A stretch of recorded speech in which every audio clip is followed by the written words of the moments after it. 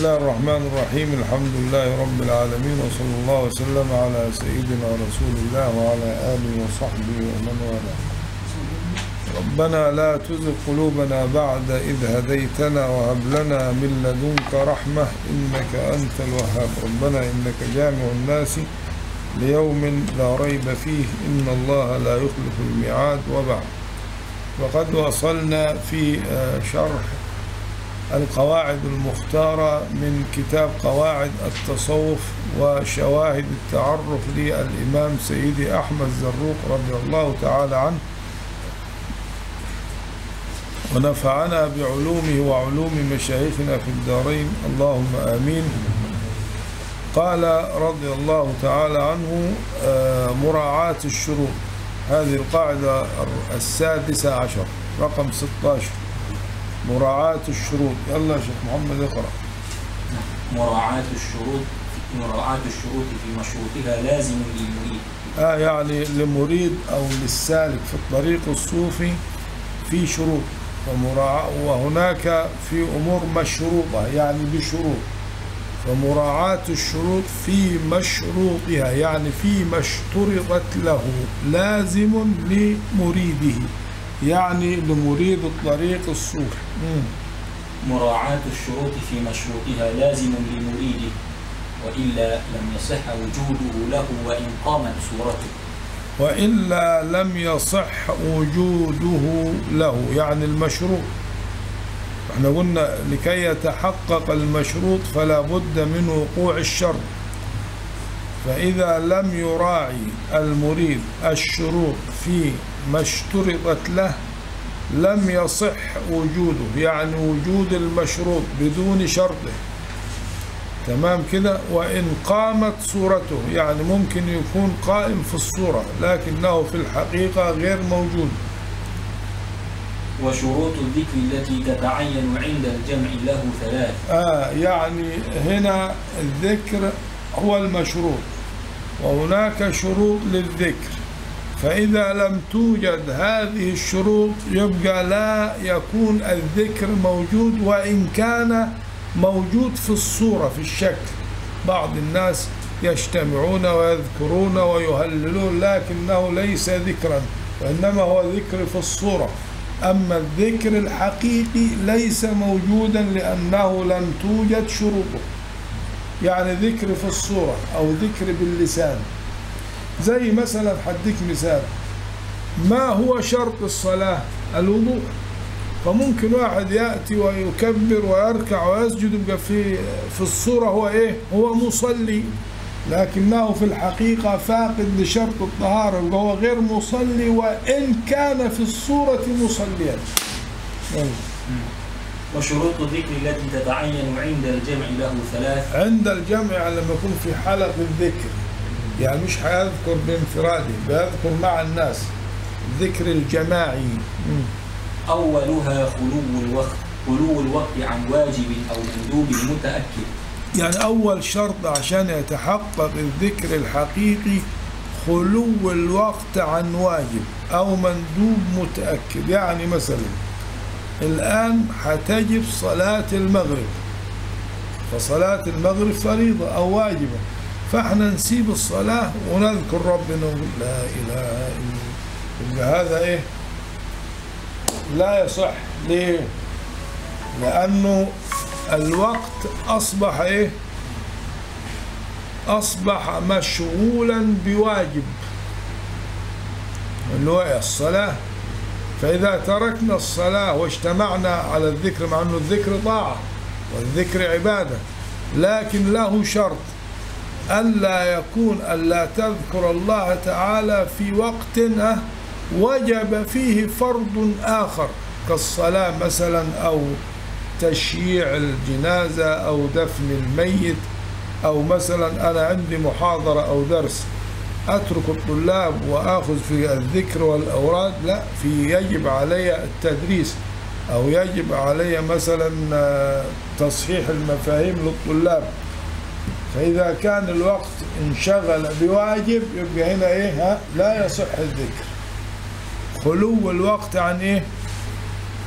عن واجب يعني فرض أو مندوب متأكد يعني سنة مؤكدة. يعني مثلا قبل صلاة الظهر في سنة مؤكدة أو في ركعتين قبل الصبح وركعتين بعد المغرب. فلا أترك السنة المؤكدة وأنشغل بالذكر. الأفضل أعمل إيه؟ السنة أو المندوب. أولها خلو الوقت عن واجب أو مندوب متأكد يلزم من عمله الإخلال به. يعني يلزم من أنا في هذه الحالة أعمل الذكر هيحصل إيه؟ إخلال بالواجب أو بالمندوب. كأن يسهر فينام عن الصلاة. آه يعني أعمل إيه الليل كله ذكر وعبادة وتضرع وبكاء. واجي أول ما قبل أذان الفجر له فريضة. هل ده صح؟ طب هذا كله كان نفل كأنما صلاة الإيه؟ الفجر أو الصبح فريضة. إن قرآن الفجر كان. كأن يسهر فينام عن الصلاة أو يتثاقل فيها. أي معنى يتثاقل؟ يعني لا ينام ولكن يصلي هو إيه؟ متثاقل صعب عليه. يصلي بسرعة. عاوز يروح إيه؟ ينام. مش مركز في الصلاة. ممكن ينسى في القراءة. ممكن يقرأ التشهد وهو واقف. أيوه. أو يقرأ الفاتحة. يبقى هو متثاقل فما ينفعش. لازم يكون إيه؟ الذهن. آه. أو يفرط في ورد أو يضر بأهل يفرض يعني مثلا مش يقتصر على الورد اللي هو الشيخ. يزيد. يعني في إفراط يعني ينقص وفي تفريط. تفريط يعني ينقص إفراط يعني زيادة. أو يضر بأهله يعني مثلا في حاجات للبيت آه الأطفال يحتاجون إلى لبن إلى أكل وانشغل بالذكر والصلاة على النبي والبكاء وترك لي الأطفال آه، جياع لا يأكلون. هنا أضر بهم. ممكن الطفل يمرض أو يموت. فتدخل النار وأنت تذكر الله تعالى لأنك قصرت في واجب يبقى, يبقى أول حاجة من شروط الذكر خلو الوقت يعني الوقت اللي هتذكر فيه عن واجب أو مندوب. الأمر الثاني خلوه عن محرم أو مكروه. يعني ما ينفعش وأنت تذكر ربنا معاك آلة بتاعت موسيقى أو مزمار أو لا. يبقى هنا اقترن الذكر محرم يعني؟ ممكن واحد وهو بيذكر يشرب مخدرات حشيش حرام أو يعمل أشياء مكروهة. يتكلم في الذكر الجماعي. فلازم الذكر يكون لا يقترن بحرام ولا بمكروه. خلوه عن محرم أو مكروه. محرم يعني زي ما يجيب ال- النساء مع الرجال. ده حرام. آه. أو يبقى زي إسماع النساء وحضورهن. يعني تيجي المرأة تقول أنا أناشيد أو تحضر مع الرجال زي ما بيحصل في في الموالد اللي نشوفها في عند سيدنا الحسين وسيدنا زين. آه. أو أو من يتقى من الأحداث. آه يعني الأحداث يعني الغلمان المرض لأنه يحصل به فتنة زي إيه؟ النساء. مم. أو قصد طعام. أو قصد أو طعام. قصد طعام لا قربة فيه. أو داخلته شبهة ولو يعني في ناس تذهب إلى مجالس الذكر لأنهم يعلمون أن فيها طعام مثل هذا الذي يعني بس يكون فيه لحوم وكذا. فيقصد طعام تمام؟ لا قربة فيه. يعني مش هذا الطعام مصنوع من أجل الفقراء أو من يعني في في تقرب إلى الله إنما ده مصنوع للمباهاة وللفخر. وعشان الصور. وأشكال تشوفوا يجيب صورة الطعام ويركز. يعني هذا الطعام ما صنع من أجل القربة أو قصد طعام لا قربة فيه أو داخلته شبهة ولو قلت. يعني هذا طعام مش من حلال فيه شبهة ولو كانت قليلة. نعم. أو فراش محرم كحرير ونحوه. يعني الفراش اللي هم يجلسون عليه محرم. زي إيه؟ آه يعني آه يجلسون على الحرير. في ناس أغنياء أو ملوك يتخذون وسائد من الحرير محرم. يعني الحرير ده غالي جدا. فيجلسون عليه. الأولى يعني يطعمون المساكين والفقراء. مم. أو ذكر مساوئ الناس. آه يعني مجتمعين عشان الذكر والحضرة والتوسل وكذا وبعدين إيه يذكر عيوب الناس. في وقت الراحة أو في وقت الفاصل يتناولون الناس بال- بالغيبة والنميمة. وهو مجلس ذكر. أو ذكر مساوئ الناس. أو الاشتغال بالأراجيف. بالأراجيف يعني الإشاعات يشتغلوا بالكلام اللي فيه أراجيف يعني فيه فتنة. المرجفون في المدينة. مم. الثالث التزام آداب. يعني يعني ثلاث شروط. الأول خلو الوقت عن واجب. الثاني خلوه عن إيه؟ عن المحرم. الثالث التزام آداب الذكر من كونه شرعيا أو ما في معناه. بحيث يكون آه يعني لما تيجي تذكر يكون الذكر شرعي أو ما في معناه يعني أقرته الشريعة يعني الألفاظ المأثورة في الكتاب والسنة أو ما في معناه تمام؟ بحيث يكون يعني الذكر بما صح يعني ال- ال- الوارد الصحيح مش الموضوع الضعيف واتضح يعني واضح المعنى مفهوم. آه. وذكره على وجه يعني السكينة. يكون في ذكر الله على سكينة ما يقولش هياج وكذا. وإن وإن مع قيام مرة وقعود. وإن مع قيام مرة وقعود أخرى. يعني ممكن نذكر الله تعالى قياما وإيه؟ وقعودا. ما فيش مانع. وعلى جنوبهم يعني ممكن نذكر وا- واقف. أو إيه؟ جالس. يعني تذكر مع قيام مرة ومع إيه؟ قعود أخرى. مم. لا مع رقص. لا مع رقص وصياح ونحوه فإنه من فعل المجانين. يعني إيه تخبط زي ما يعمل الشعر. هذا من فعل الايه المجانين. كما أشار مالك الإمام مالك. كما أشار الإمام مالك رضي الله عنه لما سئل عنهم فقال أمجانين يعني لما سئل عن الناس اللي بتصي- تصيح وكذا قال أمجانين هم دول مجانين. يعني سيدنا الإمام مالك اتهمهم قال دول مجانين. وغاية كلامه ما دام قال أمجانين الاستقباح يعني كأنه استقبح هذا في الذكر وأنه يفعله المجانين.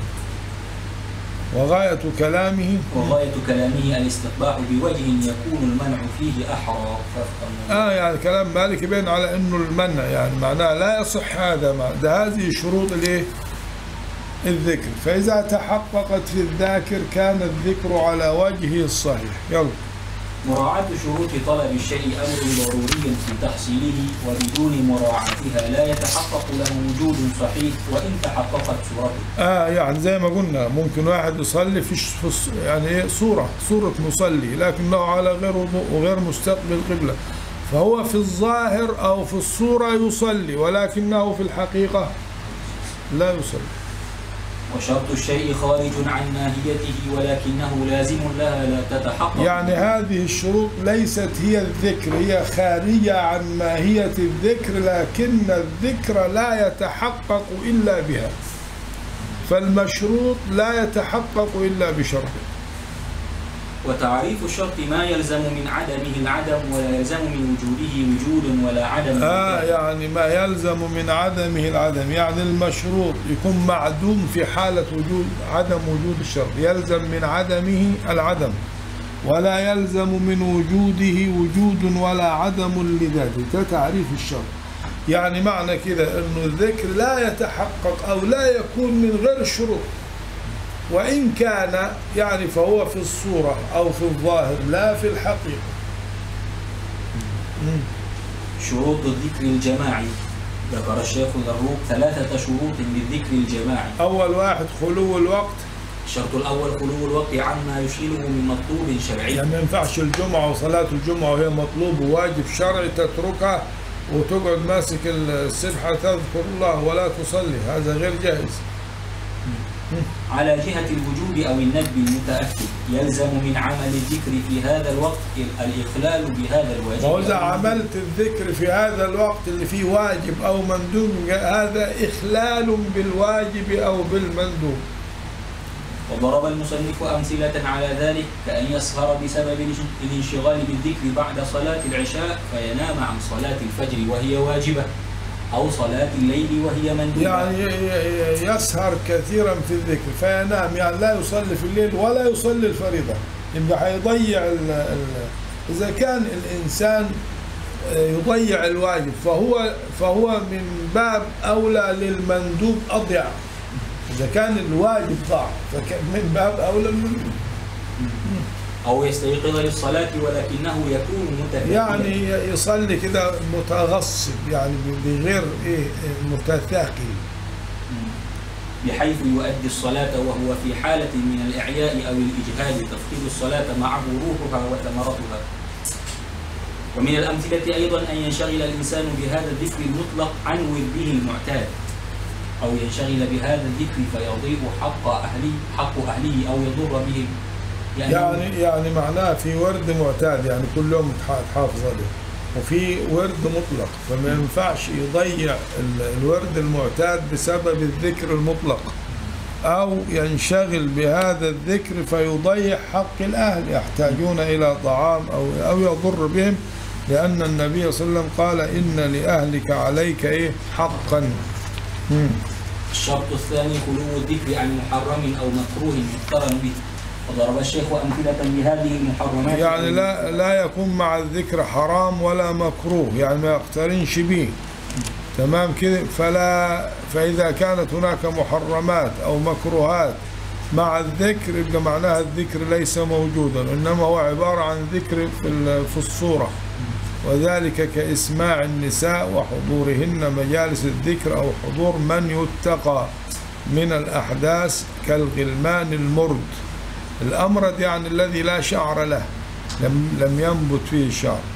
لأنه يكون ذلك مثارا للفتنة والوقوع في الإغراء في حبائل الشيطان أو يقصد حضور مجالس الذكر من أجل الطعام. تجد آه، أماكن زحمة ليه؟ عشان في طعام وفي نفحة وفي إنما لو في ذكر ما فيهوش طعام تلقى العدد قليل. ومعظم الناس اللي م- موجودين عشان الأكل؟ ولا يكون هذا الطعام على وجه القربى. هو, ال- الذي قاصد قاصد الطعام مش قاصد الذكر. واللي بيعمل الطعام مش عامله لله ليس على وجه الإيه؟ القربة وإنما من أجل التفاخر والرياء أو أن يكون الطعام دخلت فيه الشبهة. يعني المال مجموع بطريقه غير شرعيه مم. أو تكون الفرش والبسط الفر الفرش. الفرش. أو تكون الفرش والبسط. والبسط جمع بساط. الفرش فرش. جمع فراش. مش كده؟ آه، وفرش آه مرفوع. كده؟ والبسط جمع بساط. التي يجلس عليها الذاكرون محرمة. يعني معناها نسرق حصير آه، سجاد ونفرش عشان نذكر عليه. طب ده حرام. والديباج برضو حرام. أو أن مجالس الذكر تشتمل على ذكر مساوئ العباد وحديث الغيبة والنميمة والوقوع في الأعراض أو تشتمل على الانشغال بالأراجيف يعني الأخبار الكاذبة وترويج الشائعات المغرضة. الشرط الثالث. الشرط الثالث أن يكون الذكر تراعى فيه الآداب من كونه شرعيا أو ما في معناه بحيث يكون صحيحا واضحا.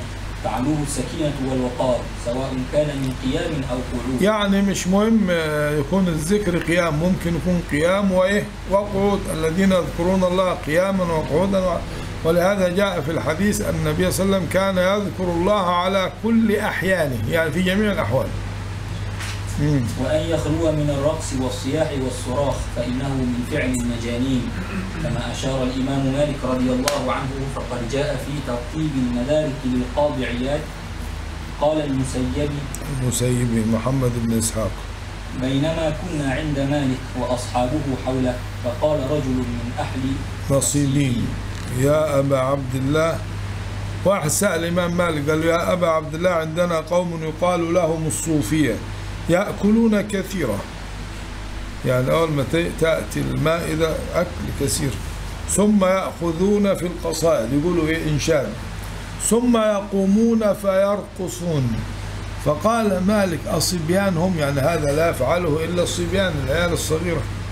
قال لا. قال أمجانين هم؟ قالوا لا. قوم مشايخ يعني وغير عقلاء وغير وغير ذلك عقلاء. تمام؟ قال مالك ما سمعت أن أحدا من أهل الإسلام يفعل هذا.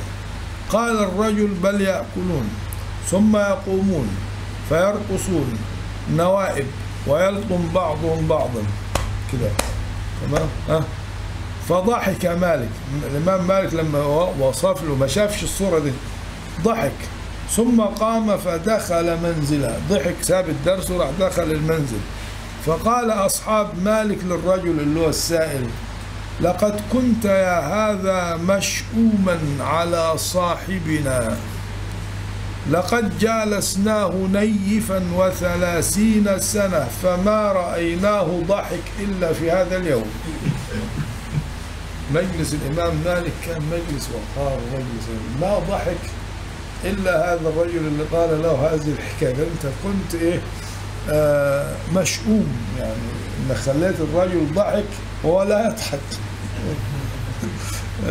والذي يفهم من كلام الإمام مالك رضي الله عنه كما قال الشيخ ضروق الاستقباه الاستقباه لهذا الصياح والصراخ في الذكر بوجه يكون المنع فيه أحرى. هذا ومن الشروط الواجبة للذكر الطهارة. يعني مثلا الشروط اللي قالها الشيخ ضروق دي بعضها مش كلها. آه من الشروط الواجبة للذكر الطهارة. الطهارة حسية ومعنوية. مم. فالحسية رفع الحدث الغسل وإزالة الخبث الخبث. خبث. والمعنوية التوبة النصوح من جميع المعاصي الظاهرة والباطنة ومن أهم الشروط. يعني في طهارة للذكر حسية عن إزالة الحدث الأكبر والأصغر. وفي طهارة معنوية اللي هي التوبة من جميع المعاصي الظاهرة والباطنة ومن أهم الشروط. الكسب الحلال والتلقين. والتلقين وهو ثلاثة أصناف. تلقين اللفظ وهذا متعلقه اللسان. مم. قال الشيخ الأكبر أكبر سبب لعدم وجود ثمرات الذكر لحنهم في الأسماء الحسنى. آه يعني كمان في شروط أخرى أنك تنطق اللفظ نطق صحيح. يعني لا تلحن. يعني في بعض الناس يقول لك لا إله إله هذه خطأ آه إلا الله. يعني إيه ده كله لحن؟ لازم يؤدي اللفظ بإيه؟ يعني مثلا إيه؟ يقول لا إله إلا الله إلا الله مش إلا الله. يضيع الهاء يقول إلا الله. يعني يقول كده إيه؟ كأن يقول بدل الله الله الله. من غير الهاء يبقى كده لم يذكر الله. فلو واحد جاي يصلي وقال الله أكبر الله أكبر. ما من, من عقدت تكبيرة الإحرام؟ الله. فين الهاء؟ هذه التكبيرة كأنه لم يدخل في الصلاة. لازم تكون الإيه؟ الهاء. ففي يقول لك مع إلا الله إلا الله إلش إلا الله إلا الله. هو ضاعت الهاء. يبقى اذا إيه؟ من غير هاء. يبقى ده مش لفظ الجلال.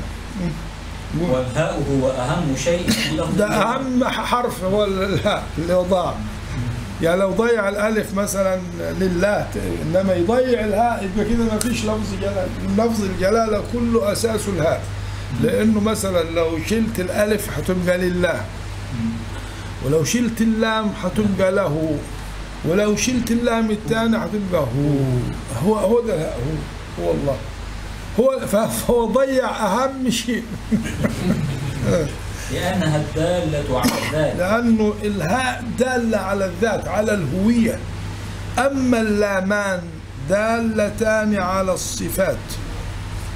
يبقى أهم حاجة في لفظ الجلالة مش اللام ال- ده إلهاء. لأنه إلهاء دالة على الذات. قل هو الله أحد.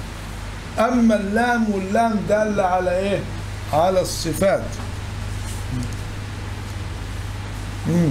تلقين المعنى متعلقه العقل ومن الأخطاء التي يصنعها آه. يعني يعني إيه معنى ي- الإنسان عندما يلقن اللفظ يعني يتقن يقول اللفظ باللسان يعني مثلا عندك في مد مثلا في مثلا إيه آه آداب أو ك- شروط في الألفاظ لو ما رعتهاش يبقى الذكر خطأ ولا يقع به الثواب. ليه؟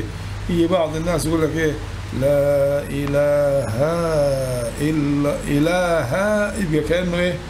كأنك بتنفي الهين مش إله واحد. يعني لو لو مد الهاء زيادة يبقى بقت إيه؟ الها يعني كانك قلت لا الهاني إنما إيه؟ ما نفتش الإيه؟ آه نفيت الاثنين لكن ما نفتش إله واحد غيره. هذا شرك. لأنك إيه نفيت المثنى. إنما اللام هنا نافية للجنس ما فيش أي إله لا واحد ولا اثنين. يعني نقول لا رجلين في الدار يعني معناها بتنفي الاثنين لكن لم تنفي الواحد فيقول لك لا إله نسمعها كثير في عشان يلحن عشان التلحين وكده وساعات يجيب ياء زيادة. إلا الله. وساعات يحذف الإيه؟ الهاء. إلا الله. إلا الله. إلا الله. فين الهاء؟ ما فيش.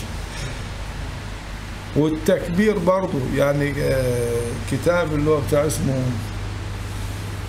بتاع الشيخ الحامدي اللي هو اسمه شمس التحقيق. جايب الشروط والأخطاء التي تقع في الذكر. ومعظم الناس يذكرون أذكار خطأ. فلازم يتلقن إيه اللفظ من الشيخ عشان يعرف إنه هو ضبط ولازم يفهم المعنى بعقله. تلقين المعنى. ثانيا تلقين المعنى متعلقه العقل ومن الأخطاء التي يصنعها الناس ذكر اللفظ بجهل المعنى. يعني يعني يذكر اللفظ من غير ما يفهم المعنى. وهذا لا يجوز إلا في القرآن. ليه؟ لأن القرآن متعبد بتلاوته. يعني لو قرأت القرآن تثاب ولو لم تفهم المعنى إنما الذكر لا يبقى التعبد في القرآن فقط لأن القرآن متعبد بتلاوته أما غير القرآن لا. وذلك أنا وجدت بعض الناس السلفية يجي بعد بعد صلاة الصبح خاصة مع الطلاب في سكن الطلبة ويروح يجيب رياض الصالحين ويقرأ حديث أو اثنين بس من غير شرح ومن غير أي شيء. هل الأحاديث أو السنة متعبد بها زي القرآن؟ لا. لا يشرح بس هو ما يعرفش يشرح أصلا. فيعمل إيه؟ يقرأ يقرأ الحديث. قراءة الحديث ليس قرآن. أما بدل ما تقرأ حديث من رياض الصالحين أو كلام من كتاب اقرأ قرآن اقرأ سورة قرآن. ما يقرأش قرآن يقرأ إيه؟ أحاديث. ولا يفهم معنى الحديث. فقراءة الحديث غير متعبد بتلاوتها. ليه؟ لأن الحديث يجوز روايته بالإيه؟ بالمعنى. يبقى غير القرآن في الذكر أو في الحديث لازم تفهم المعنى. يبقى معناه لو أنك ذكرت من غير ما تفهم المعنى لا تثاب. أما في القرآن تثاب ولو لم تفهم المعنى. لأن ما سوى القرآن غير متعبد بتلاوته وغير مثاب على قراءته إلا إذا فهم معناه. ثالثا التلقين المتعلق بالروح. المتعلق. التلقين المتعلق بالروح. آه اذا في تلقين لفظ في تلقين معنى في تلقين متعلق. هذا لا يتأتى إلا بالإذن دي أسرار دي لإيه؟ لأهلها. فائدة عشان نختم. فائدة اعلم أن الذكر من العبادات المطلقة التي لا يقيدها زمان ولا يجي واحد يقول لك يا أخي الذكر مطلق. يا أيها الذين آمنوا اذكروا الله ذكرا كثيرا. ليه أنت آه يعني يقول لك لا هو مش مقيد الذكر بزمان ولا مكان. في أي مكان بس إيه؟ بشروط. يعني آه إذا تعارضت العبادات خد بالك دي قاعدة. إذا تعارضت العباد العبادات المطلقة مع عبادات مع عبادات مقيدة بزمان. يعني في عبادة مطلقة وفي عبادة في زمن معين. وقد حان زمان المقيدة تترك المطلقة ويشتغل بالمقيدة. ليه؟ لأن الصوفي كما قالوا ابن وقته. يعني انظر لل لأنه في عبادات في حق أو واجب في الوقت. هذا لا يجوز تأخيره لأنه إذا ذهب مش هينفع في وقت آخر. وفي حق للوقت يبقى في حق فيه في واجبات في الأوقات وفي واجبات للأوقات. هذا والاجتماع على ذكر الله إذا تحققت شروطه وكان على وجهه الصحيح فإن ذلك من أفضل القربات آه يبقى الذكر يكون من أفضل القر- القربات ومن أعظم الطاعات إذا تحققت الشروط. والله تعالى أعلم.